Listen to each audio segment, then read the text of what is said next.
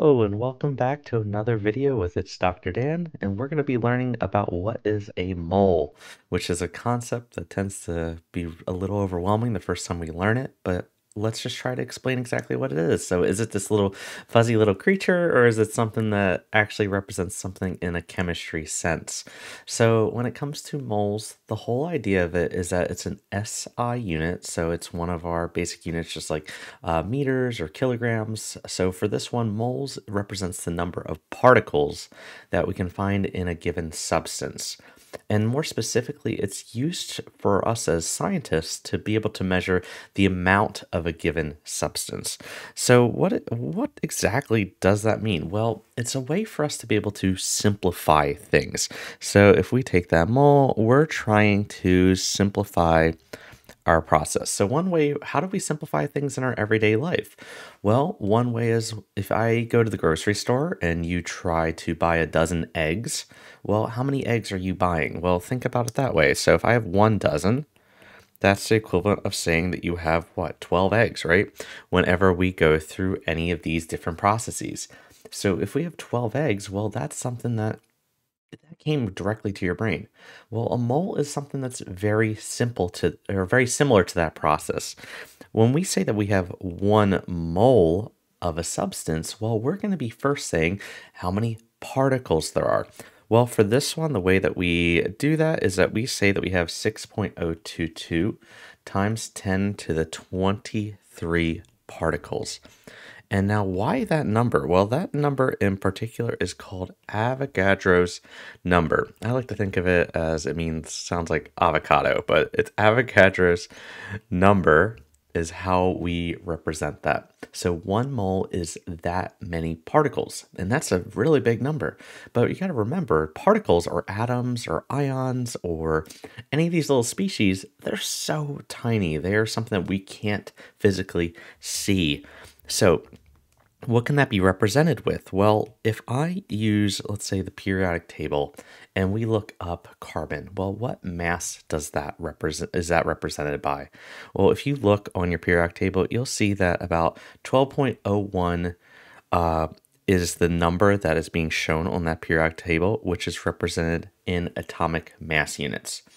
Now, that atomic mass unit is something that directly relates to the number of moles and also it relates to something that we can measure in the lab, which is grams. So instead of using atomic mass units, what we're going to instead say is that, all right, well, if I measure out 12.01 grams in the lab on the balance, what that directly represents is one mole of carbon. So that's a conversion term for ourselves. So we can write that down, right? 12.01 grams of carbon all over one mole of carbon, or we can flip it depending on what kind of dimensional analysis type conversion we are doing. However, how does that directly relate to this term that we used above here, and, um, which was the term of the mole in this Avogadro's number type effect here? Well, being that if we have 12.01 grams of carbon, that also, as we mentioned, is one mole of carbon. But one mole of carbon is 6.022 times 10 to the 23 particles. Or in this case, being that we're referring to the atom of carbon, this is atoms. All right, so it's atoms of carbon. So all those terms can be used uh, intricately for with one another using our periodic table as conversion terms. So this is a very powerful tool for us in the near future. So if we look at like any of these different elements on the periodic table, so I have a bunch of samples here that were measured in the lab. So we just showed carbon, for example, right? If we measure about 12 grams out, that represents one mole. Now, if I kind of look at some of these other species like zinc or magnesium or copper, or sulfur, silicon, any of these, and I measure out the exact value that we see on the periodic table, that is measuring out one mole. So let's take, uh, if we take copper, for example, and we try to find that on the periodic table. So when we find that, you see that, all right, well, it lists out that we have about 63.546 grams or AMU, what you're used to. And what we're going to do with that value is that represents how many moles of copper we have. So why don't we write that down? So if we take that copper value, if I have 63.5 grams of copper, well, that's going to tell you that you have one mole of copper. It also tells you that one mole of copper is equal to 6.022 times 10 to the 23 atoms of copper. So we can use those different methods as conversions. So let's try to write that down. Let's define all the different steps and conversions we can use with the mole that you're going to see in your everyday chemistry class. So the first one, what is it? So the first one is molar mass. Molar mass is any time that you're going between grams and moles. So that is what you're going to be grabbing from your periodic table. Okay, so that is your periodic table value. And that's what's going to show going between those different values. So we're going to be, let's say if we pick something um, like sodium, for example, we could define what its molar mass is. We could see that, all right, well, sodium, if we look at our periodic table, has a very, very long uh, molar mass, but we can define that really quickly as maybe just say 22.99 grams per mole. 22.99 grams for every mole, right? And that is for sodium. So we can define that. So what other things can we come up with? Well, there's also Avogadro's number, so that would be the second one. So Avogadro's number and how that is is for every any mole that you have. So let's say if we continue our example of sodium, well, we could say that one mole of sodium is equal to 6.022 times 10 to the 23 atoms of sodium. Okay. Now, what other things can we do? Well, there's one other that we'll do in a little bit. We can also define mole to mole conversions. So how could that work? So if I do a different color here, so mole to mole conversions. So what would be an example of that is let's say if I take water and I ask you, all right, if I have one mole of water, what else can that tell you? Well, think about your subscripts. What do your subscripts tell you? Well, if I look at this one, we have two hydrogens for every one oxygen that we have in this formula, right? So two hydrogens for every one oxygen, so H2O. So what that tells you is that for every one mole of H2O, which is in this case a molecule, we have two moles of hydrogen. We also have one mole of oxygen, which are both elements. So this allows you to be able to relate between compounds, molecules, elements. So if you start with a given mass, for example, you can maybe start seeing that there's going to be conversions that are available to you. So let's say if I pick a, if I come up with a problem where if I ask you what is the mass of a single atom of carb of sodium, how would we do that? Well, we could kind of try to think, well, all right, well, if I have one atom of sodium, well, how can I try to convert atoms and try to cancel that out? Well, we know that we have Avogadro's number, which is referring to atoms. So if I kind of put this in my little t tables, just to show these little conversions. So if we have 6.022 times 10 to the 23 atoms, of sodium. Now atoms cancels out atoms, and that's going to be equivalent to one mole of sodium.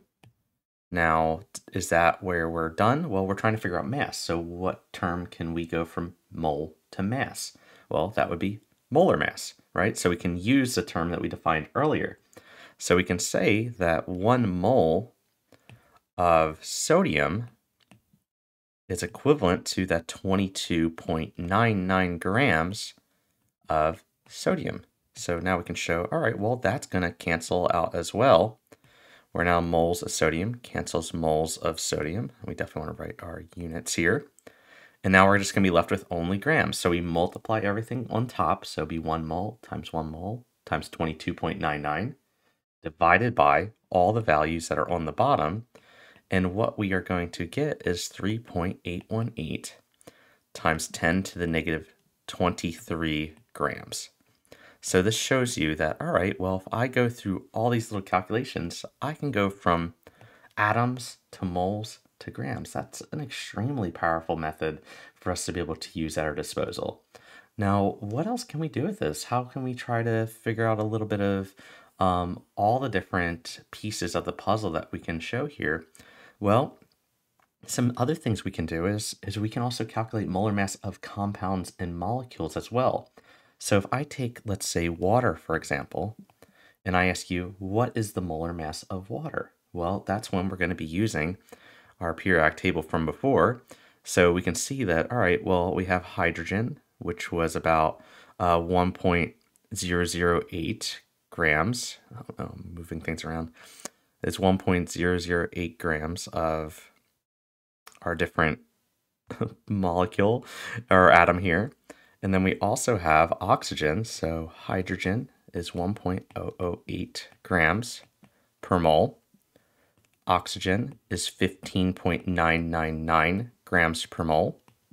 So we what we can do is, is we can add up all these values and multiply it by whatever its subscript is. So if I have two hydrogens, right, we're going to multiply hydrogen by 2, and I have one oxygen, we're going to take all those values and then add them together. So if I go through that process and I add up that I have uh, 1.008 grams per mole and then the roughly 16 grams per mole for oxygen, we're going to get approximately 18.02 grams per mole for H2O. And that's with a little bit of rounding just to kind of give me some uh, slack here when it comes to showing how to do that. But we're just adding up the different values. So this is a conversion term that we can use in future problems. Let's try another one. Let's say if I wanted to add up the molar mass of, let's say if I give you uh, maybe glucose. So if we have glucose, which is C6H12O6, so this is a pretty big molecule, we can go through and try to do the same thing. Use our subscripts. So if I start with carbon, right, we have six carbons. We can use our periodic table to look up the molar mass, which is about uh, 12.009 AMU. We can then look up how many hydrogens there are. So hydrogen there are 12 of them. Sorry, we're using grams per mole in this case. Hydrogen, there's 12 of them, so that's going to be 1.008 uh, grams per mole. So let's try to color code these for ourselves. And 12 and 12. And then for oxygen, what we're going to do is that there's six of them. So this is going to be times that 15.999 grams per mole. So you're going to take 6 times 12.009, add it to the 12 times 1.008, add it to the 6 times 15.999, and then we'll get our molar mass for a bigger compound, which is 180.142 AMU. Okay, so it's given us that ability to solve for all kinds of different problems, or uh, in these different things. And I keep saying AMU, but we're doing grams per mole because we're working on molar mass, right? So this is for glucose. So if I asked you, let's say if I had um, maybe if we wanted to figure out how many moles there are in this particular compound, we could do that. So we have glucose, so we could say that we have one mole of glucose. How many moles of carbon are there? How many moles of hydrogen are there? How many moles of oxygen? Well, for every one mole of glucose, we're going to have one mole, or sorry, six moles of carbon, 12 moles of hydrogen, and six moles of oxygen. So with that, these are how you can define your mole to mole ratios, which is what I talked about step three from earlier of how you can do some major conversions. So let's say if I had um, 10 grams of glucose and I wanted to know how many grams of oxygen are in 10 grams of glucose. How would we do that? Well, this can be a little bit of a harder problem. Why don't we try setting it up? So if I have 10 grams, the first thing is, is the goal is always the mole. Okay, so if you can convert to moles, you can then convert it to anywhere. So the goal is the mole. So if I have 10 grams of C6H12O6, how would we get to moles? Well, that's where our molar mass is going to come in, which we calculated earlier. So it's going to be that 180.142 grams per mole. Now, being that we want to cancel out grams, so that's going to go on the bottom here. Those two units are going to cancel, and that's going to be equivalent to every one mole of C6H12O6. So that gets us to moles. We got our goal. However, we want to get to oxygen. So what can I define next? Well, we can look at our subscripts and define the ratio of moles of oxygen to moles of glucose. So if we have one mole of glucose, that will cancel out these values here. And that's going to be equivalent to six moles of oxygen. So by doing that, that allows you to all of a sudden go from having grams to moles. Now we canceled that out, and now we're left with only moles of oxygen, which is a very useful conversion. We just converted something from one species to another. This gives you predictability in chemistry. So now our last step is being that we want grams of oxygen. What do we need? Moles to grams, molar mass. So one mole of oxygen is going to be equivalent to 15.999 grams of oxygen. And that gives you your final conversion and giving you grams. So if we were to solve all that, how would we do it? Well, we're going to take 10 times 6, so 10 times so 10 grams times 6 moles times 15.999. Then we're going to divide that by 180.142 times 1 times 1 and what we are going to get is that in 10 grams of glucose, we have approximately 5.328 grams of oxygen. Now, being that I only had two sig figs in my original problem, we'll round it to two sig figs. So that would be 5.3 grams of oxygen, and that's for sig figs. And that would be how you can put all these different conversions together. I hope this video helped a little bit. There'll be more to come please let me like and subscribe and let me know what other future videos you might need. Thank you and I hope you all have a wonderful day.